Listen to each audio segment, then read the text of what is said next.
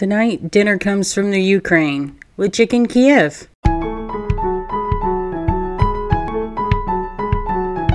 Hey everyone, and welcome back to my kitchen. Tonight we're making chicken Kiev, which, if you couldn't tell by the name, was created by a Ukrainian chef. And in light of that, I wanted to take a few minutes just to highlight the suffering currently experienced by the people of Ukraine. We are all citizens of this world, and because of that, we need to help each other out. If you would like to help the people of Ukraine, you can always donate to the UN's Crisis Fund. I will leave a link in the description below, and while I don't want to be political on this channel, I can't stand bullies. And this one is the definition of a bully. Now on to our regular scheduled programming. Okay, let's get to the reason you clicked on this video, the cooking. As always, the ingredients list is on the screen and the full recipe can be found at the channel's website, homestylecookingwithjenn.com. And if you like this video so far, go ahead and hit the thumbs up button. It really does help out the channel with the algorithm. And if you enjoy recipe videos, I post multiple times a week. If you always want to be up to date with what I'm cooking, hit the subscribe button and don't forget the notification bell. And as always, if you have any food related questions, leave me a comment down below. I read all of the comments and I'll get to as many questions as I can. Who knows, you may be featured on a future video. Alright, let's get started. The first thing we need to do is chop the parsley for the compound butter. Chopping parsley is pretty simple. All you do is run your knife through the leaves until it begins to look like mowed grass. Do this carefully, you don't want to chop your fingers, but it's more cathartic than complicated. I'm going to speed this up a little bit so you don't have to constantly watch me chop parsley.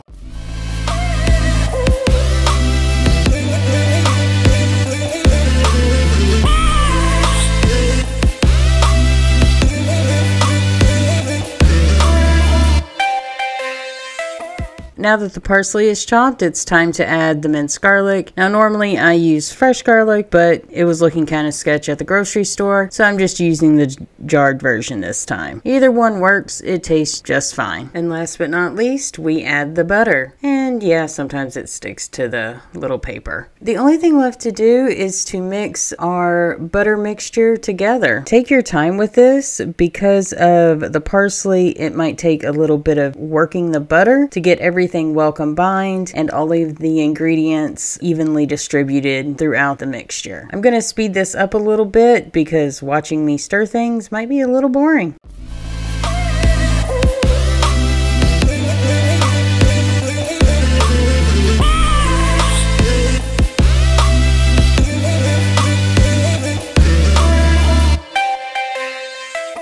Now that the butter is completely combined, it's time to form them into little discs. What you want to do is take a portion of the butter on your fork or your spoon and then place them into your hand and form it into a one inch puck basically. Be careful doing this. You don't want to handle the butter too much. The warmth from your hands will begin to melt it and it's already been worked quite a bit.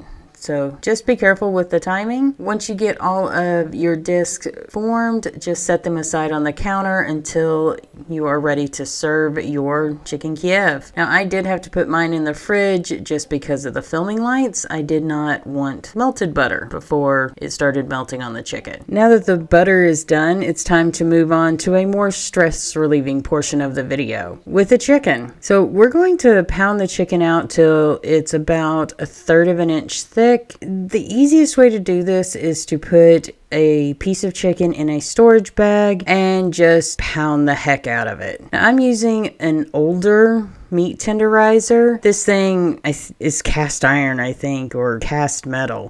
I don't think they make these anymore, but they're pretty easy to find. You can get them in metal or wood. You can get them at Walmart, Amazon, pretty much anywhere that sells kitchen items. But just pound away until you get a nice even piece of chicken and it looks pretty pulverized. And then just repeat for every piece of chicken. Now, I will speed up me beating up the second piece just because you've already seen me pound one piece of chicken. It's pretty much the exact same thing. Like I said earlier, it's pretty cheap therapy for minor frustrations. Oh, and I almost forgot. Make sure you do this on a separate cutting board than the one that you use to cut your vegetables. We don't want any cross contamination. Okay, now I'm going to shut up and let the music roll while I pound out the second piece of chicken.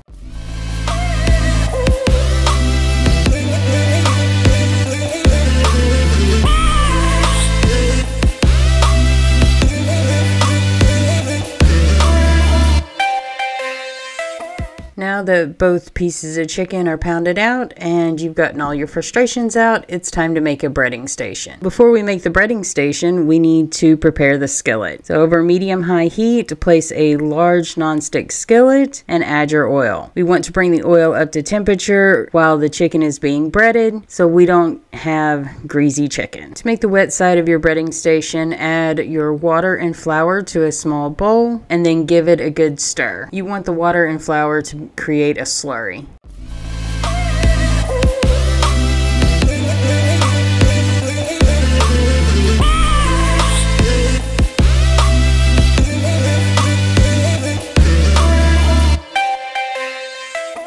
For the dry side of the breading station, add your breadcrumbs and chop up some parsley and mix them together until they're well combined. You may want to add a little salt to your dry mixture, but that's completely up to you. It's more a matter of taste. I'm going to speed this up so you don't have to watch me chop parsley again.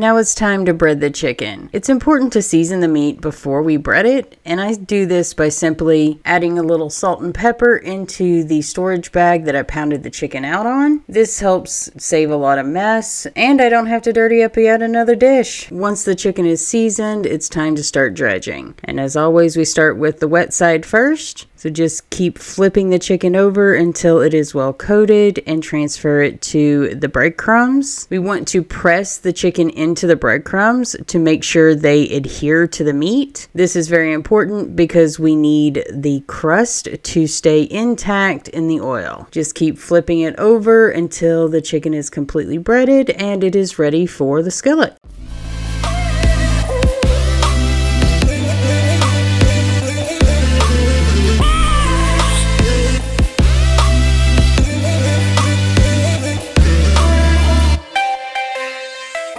Now it's time to cook the chicken. Place your breaded chicken in your hot oil and let it set for three to five minutes on each side. We want to cook the chicken for a total of 10 to 14 minutes to make sure it's done completely through. However, the rotation every three to five minutes will make sure that it doesn't get too brown. I cook my chicken one at a time, but I have a household of two, so it's more feasible to do it that way. However, if you have a larger family, you may still need to cook your chicken in batches to make sure that you don't crowd the pan. Just use a much larger skillet than I'm using here, and of course, you'll have to increase the amount of oil you use. After three to five minutes, give the chicken a good flip and continue cooking for another three to five minutes until the chicken is done all the way through. I'm going to speed this up so you don't have to watch chicken cooking in real time.